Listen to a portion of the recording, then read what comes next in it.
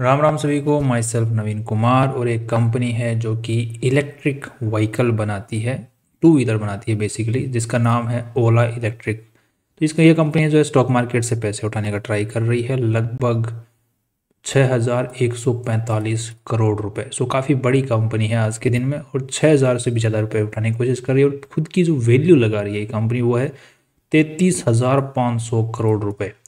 तो अभी इसकी इस वीडियो के थ्रू हम समझने वाले हैं कंपनी के पॉजिटिव्स एंड नेगेटिव्स और साथ में ही कंपनी के क्या रिव्यू रह सकता है फ्यूचर के हिसाब से हम लोग प्रिडिक्ट करने की कोशिश करेंगे। सो so, सबसे पहले बेसिकली आईपीओ की जो बेसिक डिटेल्स होती हैं उनको जानने की कोशिश करते हैं। तो यहाँ पे सेकंड ऑफ़ अगस्त से सिक्स ऑफ़ अगस्त के बीच में कंपनी का आईपीओ खुलने वाला है। सेवेंटी सिक्स का कंपनी ने कट ऑफ़ प्राइस सेट किया है और वन नाइन्टी फाइव का लॉट साइज़ है तो आपको चौदह हज़ार आठ सौ रुपये की ज़रूरत पड़ने वाली है। कंपनी जो आईपीओ लेके आ रही है वो एन एस दोनों पे लिस्ट होने वाला है। एंड फुल फ्लेज आईपीओ रहने वाला है ये एसएमई कंपनी वाला आईपीओ नहीं है। नेक्स्ट अगर देखते हैं कंपनी के जो क्या लिखा हुआ है? जो कंपनी के जो मालिक लोग हैं, जो प्रमोटर लोग हैं जिन्होंने कंपनी स्टार्ट की थी या फिर प्रमोट किया था आगे, उनके पास में आईपीओ से पहले यहाँ पे गलत लिखा हुआ है फोर्टी फाइव परसेंट के आसपास में शेयर होल्डिंग थी आईपीओ के बाद में लगभग थर्टी सेवन परसेंट के आसपास में रह जाने वाली है। इसका सिंपल सा कैलकुलेशन है, किस तरीके से हमने किया है तो यहाँ पर अगर हम लोग देखते हैं, आरएचपी के अंदर में डिटेल्स क्लियर कट दी हुई हैं कि भाविश अग्रवाल जो प्रमोटर हैं, और ये प्रमोटर ग्रुप है, सिर्फ़ ये इतना ही है। इनके पास में टोटल मिला के 167 करोड़ के आसपास में शेयर होल्डिंग है, जिसमें से चार करोड़ चार करोड़ बीस लाख के आसपास में शेयर्स यहाँ पर बेच रहे हैं ऑफ़र फॉर सेल के अंदर में, अगर यहाँ पर हम लोग देख पा रहे हैं। तो इनके पास में 163 करोड़ के आसपास में शेयर होल्डिंग रह जाएगी, इतने नंबर ऑफ़ शेयर्स रह जाएँगे। और टोटल नंबर ऑफ़ शेयर जो कंपनी के हैं, वो है चार सौ इकतालीस करोड़ सो डिवाइड कर दो। तो सिंपल आ गया थर्टी सेवन परसेंट के आसपास में मालिक ये स्टिल रहेंगे आईपीओ के बाद में भी, जो कंपनी को। भविष्य अग्रवाल जी सबसे ज़्यादा बड़े मालिक रहेंगे। बाकी जो दूसरा मालिक है, वो है बेसिकली अगर देखा जाए तो ये ए एन आई टेक्नोलॉजीज़ इस कंपनी के मालिक भी भविष्य अग्रवाल ये लोग ही हैं। राइट नेक्स्ट अगर देख लेते हैं आप, और चीज़ों की अगर जानकारी लेते हैं तो यहाँ पर कंपनी को अगर देखा जाए तो पाँच हज़ार पाँच सौ करोड़ रुपए ही कंपनी के पास में जाने वाले हैं। बाकी six hundred and forty five crore rupees इतने नंबर इतने रुपए के शेयर्स जो है कंपनी की जो प्रमोटर हैं भविष्य अग्रवाल, और जो, जिन्होंने पहले स्टॉक मार्केट इस कंपनी के अंदर इन्वेस्टमेंट कर रखा है, वो लोग बेच रहे हैं यहाँ पर। तो अगर देखा जाए तो कंपनी की साइज़ को देखते हुए यहाँ पर तैतीस हज़ार पाँच सौ करोड़ की साइज़ को देखते हुए यहाँ पे जो लोग आईपीओ बेच रहे हैं, जो ये शेयर्स बेच रहे हैं, उनकी तादाद बहुत कम है, बहुत कम क्वांटिटी ऑफ़ शेयर्स बेच रहे हैं।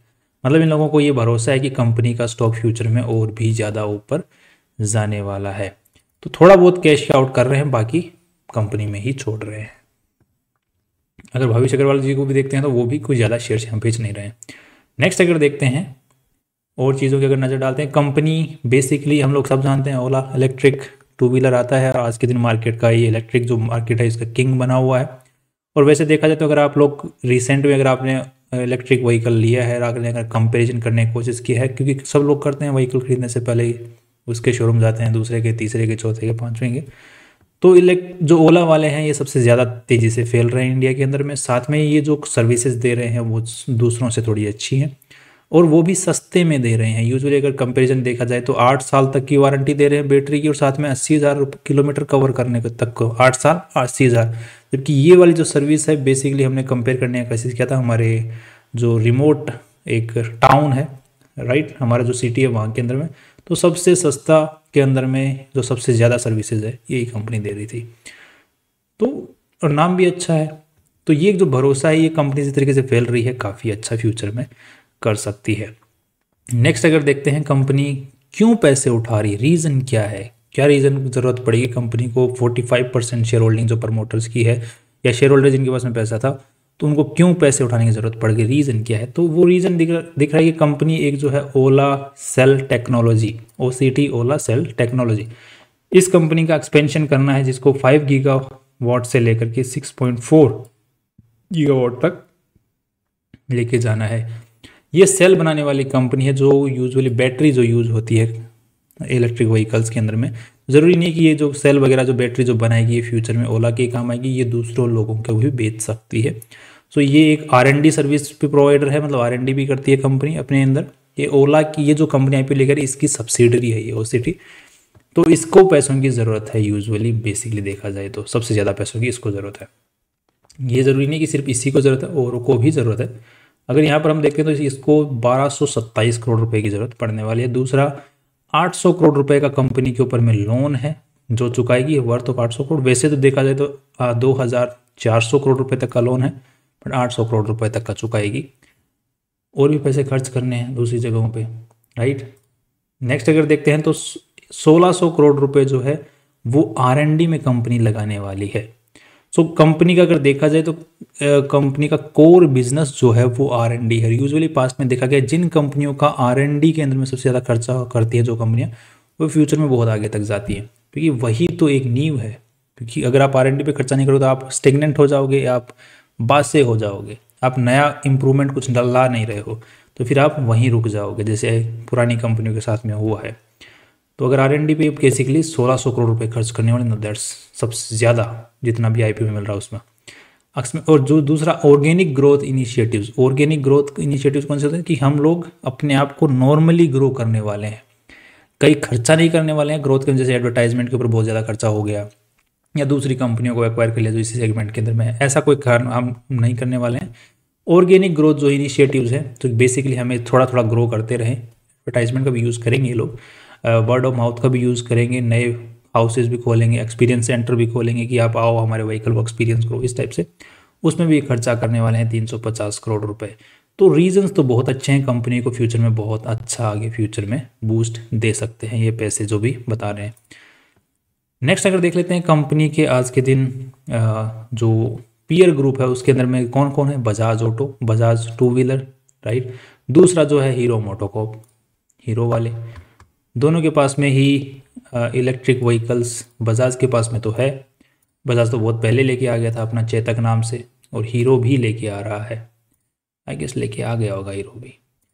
राइट तो दोनों ही कंपनियाँ काफ़ी दिग्गज हाथ के दिन इनके पास में बहुत सारा एक डिस्ट्रीब्यूशन चैनल है, बहुत बड़ा डिस्ट्रीब्यूशन चैनल है बट ये कंपनी जो है चार पाँच साल पहले, तीन साल पहले तो खुली है ओला इलेक्ट्रिक और आज के दिन तैतीस हज़ार करोड़ की कंपनी है। तो अब इनके मुकाबले देखो कि ये कहाँ जा सकती है फ्यूचर में ओला इलेक्ट्रिक कंपेरेटिवली देखा जाए तो बहुत आगे जा सकती है।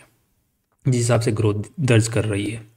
नेक्स्ट अगर देखते हैं हम कंपनी की आज के दिन हालत, कमाई कैसे कर रही है तो कमाई के अगर मामले में देखा जाए तो 2000 कंपनी खुली कब थी? 2017 के अंदर में राइट अब 2021 के बाद में कंपनी ने बेसिकली काम चालू किया है।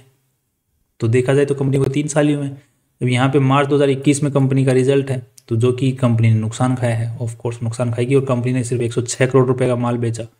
फिर चार सौ छप्पन करोड़ का माल बेचा अगले साल, जो कि लगभग चार गुना से ज़्यादा था। फिर 2023 के अंदर में कंपनी ने सत्ताईस सौ करोड़ का माल बेचा, जो कि आठ गुना से ज़्यादा था, आठ गुना के आसपास। इस साल कंपनी ने बावन करोड़ का माल बेचा, जो कि कंपनी का पिछले साल के मुकाबले लगभग डबल है, लगभग डबल है। और कंपनी के जो नुकसान हैं, वो हर साल बढ़ रहे हैं। कंपनी प्रॉफिट नहीं कमा रही है। कुछ केसेस में तो ऐसा भी दिख रहा है कि यहाँ पर कंपनी ने जो सेल किया, वो तो चार सौ छप्पन करोड़ की व्हीकल सेल की और यहाँ पे खर्चा हो गया चार सात सौ चौरासी करोड़ का। क्योंकि कंपनी नई थी, नए के अंदर में कंपनी में खर्चा ज़्यादा होता है बेसिकली कंपनी आर में तो बहुत ही ज़्यादा खर्च करती है। नेक्स्ट अब थोड़ा सा हम आर के ऊपर थोड़ा सा नज़र डाल लेते हैं। कंपनी की बोरोइंग्स भी टाइम के साथ में बढ़ती जा रही क्योंकि कंपनी कुछ कमाई तो कर नहीं रही, कमाई कर नहीं रही तो फिर लोन तो लेना ही पड़ेगा। लोन ले रखा है, खूब सारा और लेती ही जा रही है। ओके तो अब थोड़ा सा आर के ऊपर नज़र डाल लेते हैं, जिससे कि हम कंपनी को और डिटेल में समझ पाए। यहाँ तक हम देख चुके हैं, अब ये ये कुछ कंपनियाँ जो कि कंपनी ग्रुप कंपनीज़ हैं। मतलब इनके अंदर में ये सब्सिडरीज नहीं है। इनके अंदर में जो इस कंपनी के, जो आईपी लेकर इस कंपनी के मालिक हैं, उनकी शेयर होल्डिंग है इन कंपनियों के अंदर में। बट इनसे, इन, ये कंपनी अगर कोई प्रॉफिट कमाती हैं तो आई लेने वाली कंपनी लेके आने वाली कंपनी को ओला को कोई फ़ायदा नहीं होता है बट इनके साथ में रिलेटेड पार्टी ट्रांजेक्शन होते हैं, क्योंकि इनका मालिक एक ही है।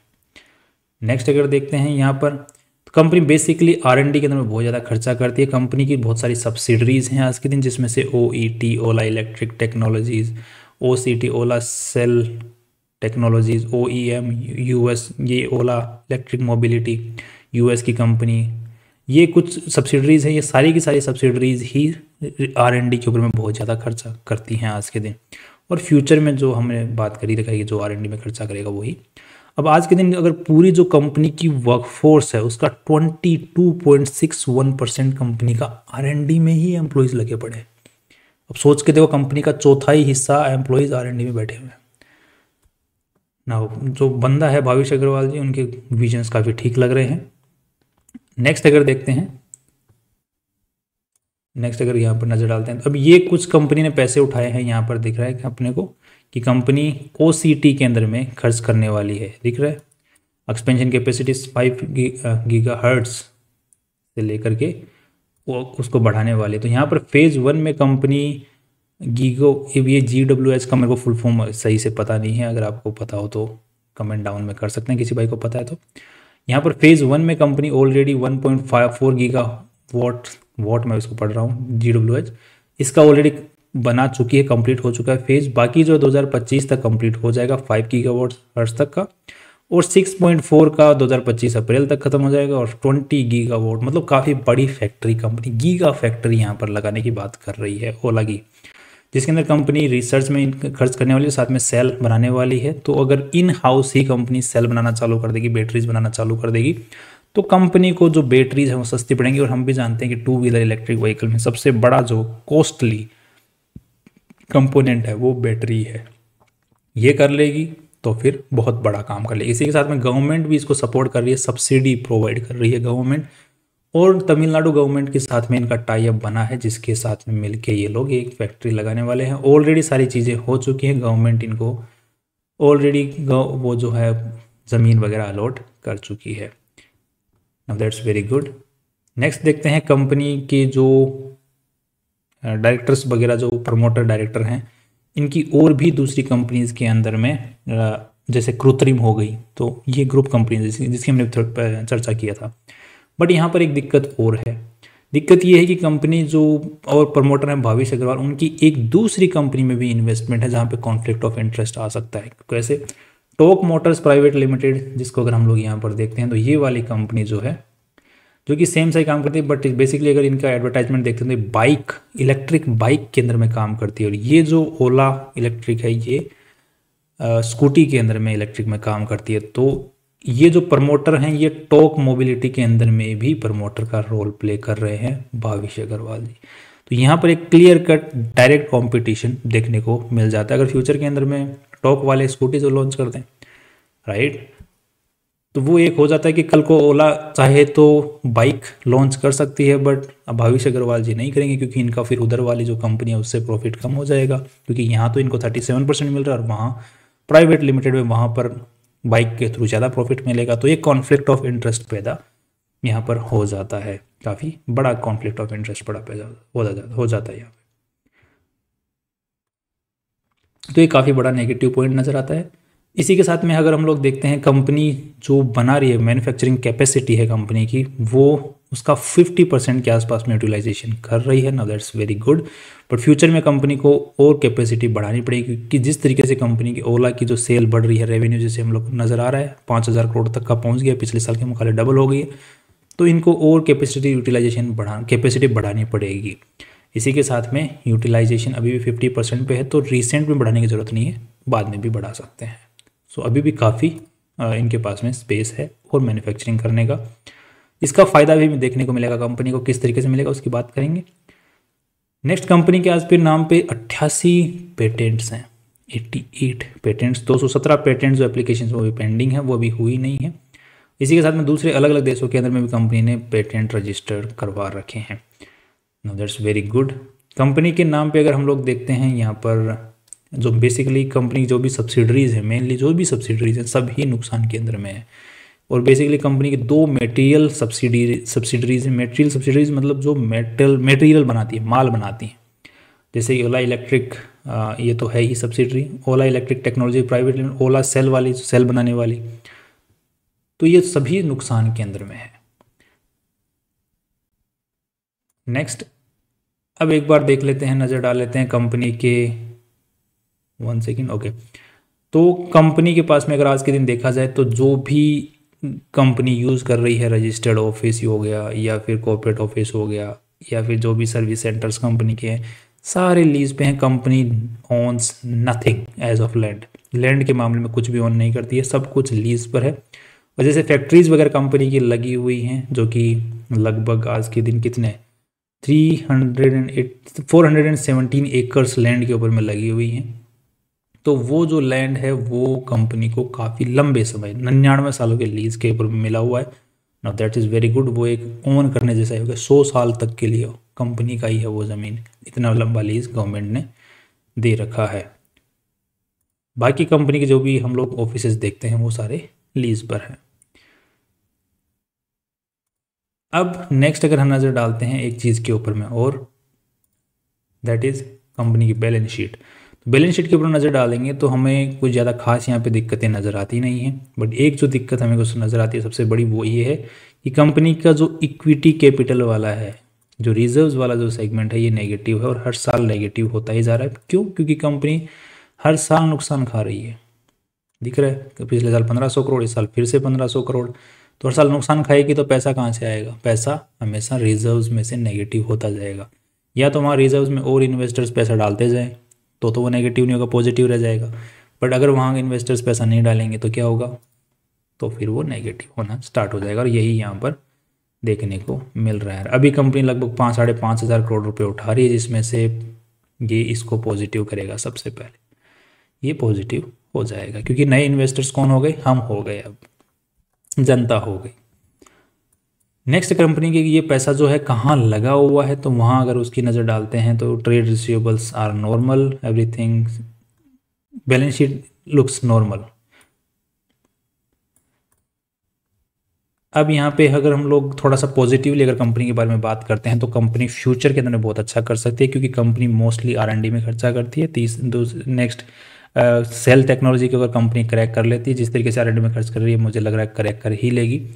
और गीगा फैक्ट्री लगा रही है तो बहुत सारे ऑल ओवर इंडिया इस कंपनी की सप्लाई फ्यूचर में होने वाले that is twenty G W H giga watt ही होगा और तो क्या डब्ल्यू एच तो प्लीज़ कोई कमेंट करो जी डब्ल्यू एच क्या होता है? एक बार मैं भी देख ही लेता हूँ। G W H gigawatt per hour okay ये कंपनी का बैटरी कैपेसिटी है। प्लांट अब यहाँ पे किस तरीके से वो कंपनी को प्रॉफिट कर सकता है, उसके ऊपर नज़र डाल लेते हैं। तो वो हमें देखना पड़ेगा यहाँ पे। जैसे कि हम लोग देख पा रहे हैं कंपनी का हर इस साल, पिछले साल के मुकाबले लगभग डबल हुआ है। तो यहाँ पर रेवेन्यूज डबल हुए बट अगर हम लोग कॉस्टिंग के ऊपर कॉस्ट ऑफ़ मटेरियल कंज्यूम्ड के ऊपर में नज़र डालते हैं तो यहाँ पर कंपनी का ये है सेवेंटी सेवेंटी फाइव परसेंट के आसपास में इंक्रीज़ हुआ है। तो यहाँ पर अगर अगले साल तक दस हज़ार करोड़ तक का कंपनी माल बेच देगी तो ये जो होगा, ये जो पर्टिकुलर जो पोर्शन है, ये आठ हज़ार करोड़ तक ही पहुंचेगा। बिकॉज़ ये सेवेंटी सेवेंटी फाइव परसेंट के ग्रोथ से बढ़ रहा है, खर्चा जो है because of economies of scale right ये अगर फ्यूचर के अंदर, अगले दो साल के अंदर में पहुँच जाएगा बीस हज़ार करोड़ तो ये लगभग लगभग कितना पहुंचेगा? चौदह सौ करोड़।